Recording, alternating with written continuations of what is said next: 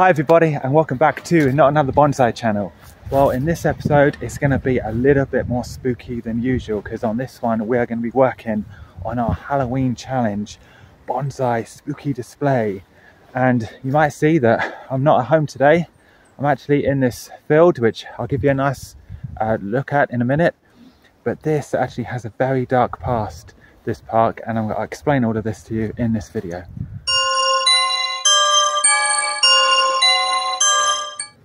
So just look at the scenes in this park. We can see there's some fantastic trees growing around here. Some beautiful trees on a day like today and the sun is, is shining. There's only a few clouds in the sky. It's absolutely gorgeous day and it's an absolute pleasure to be in this park. But this park does have a very gruesome history. And that is, this used to be where they used to carry out public executions. Now what they used to do, if we just go over here, to where you can see this play area.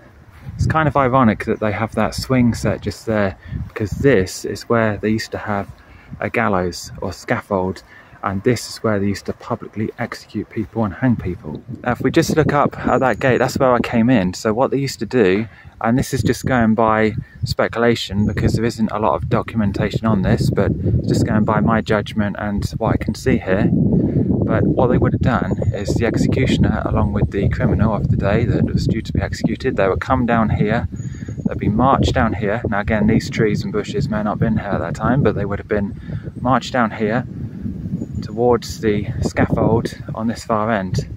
And then the person then to be executed would be led up the scaffold, a noose would be put around their neck, they would maybe have the final few words to say, a hood in many cases would have been put over their heads and the executioner would pull the lever and through the trap hatch they would fall. So this is where it all took place. You can imagine the scaffold would have been just here. It's kind of ironic they have a play area here, you know, for such a gruesome past. It's not exactly a place where you would have thought kids would want to play, but you can imagine the criminal of the day would have been led up onto the scaffold and there they would have hung to their death and not only would have they have died here but they would have had a crowd watching. I hope i don't get too much glare on my camera because it's quite a sunny day but you can see the full size of this park. Now again as i said earlier i'm not sure if all of these trees would have been there. That's hard to hard to know. But it's an absolutely huge park. And this is where the crowds used to flood in to witness the the criminal of the day being hung and uh, to be put to death. And you can see it's an absolutely huge park. So you know hundreds maybe even thousands of people would have come here and attended to watch the criminal of the day come up onto the scaffold and hang to their death. So a little bit of gruesome history there for you and just part of the history of the town where I live. Um, but it has given me a lot of inspiration so I think I'm going to head back home and we'll work on what I'm going to do with the bonsai challenge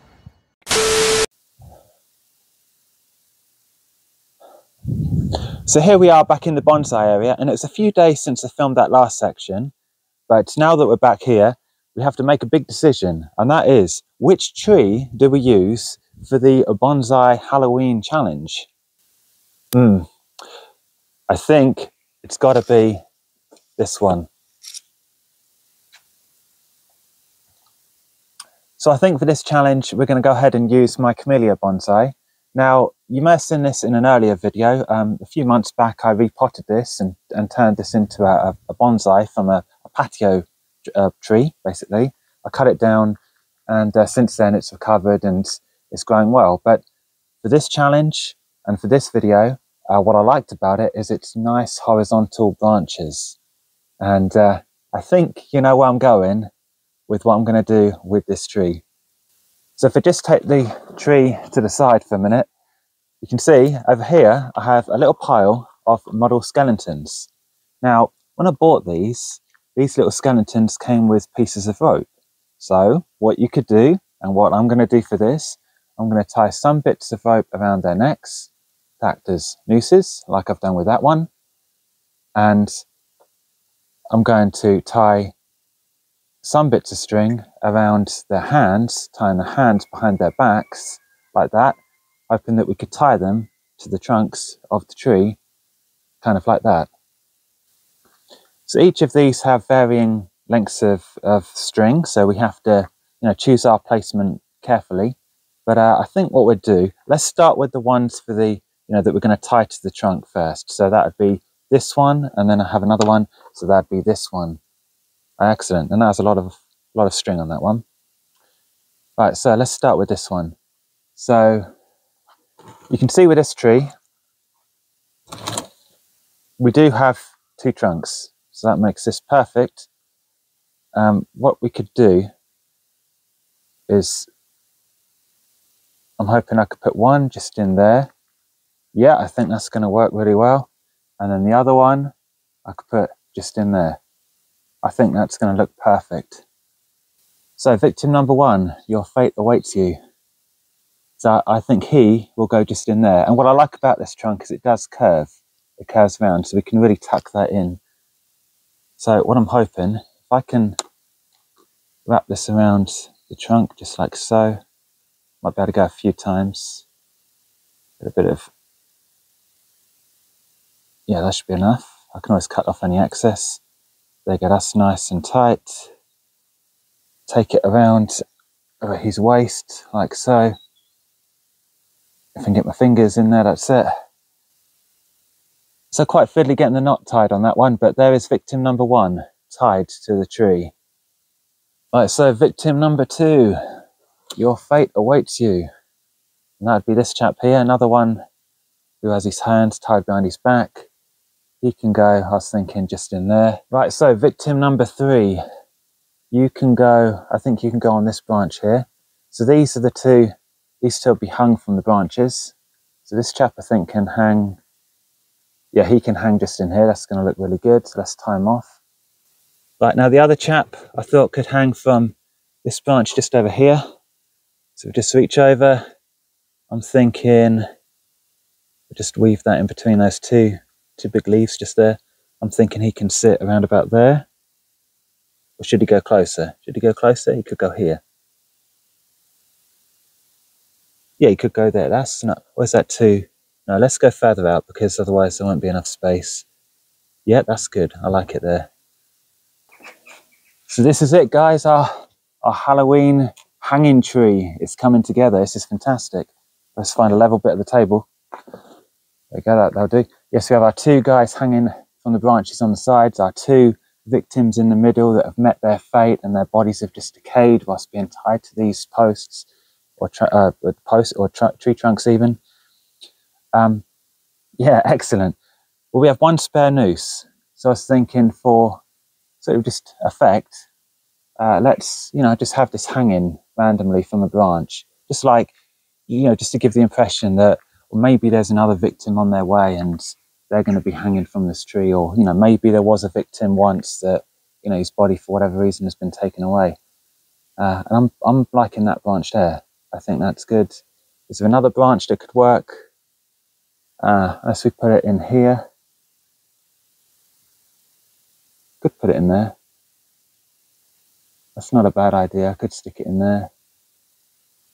Yeah, I might stick it in there because I think there's going to be a bit too high. So let's, let's just come over here just the same as what we did before.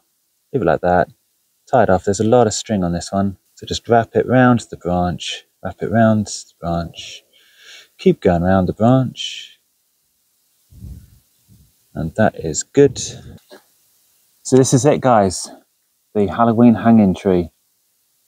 I think it's looking excellent. Now, I wanted to do a hanging tree, uh, not only because of what we saw earlier on in the video, you know, about the you know, the town's dark past with carrying out public executions, but also as a way of recognizing some parts of history.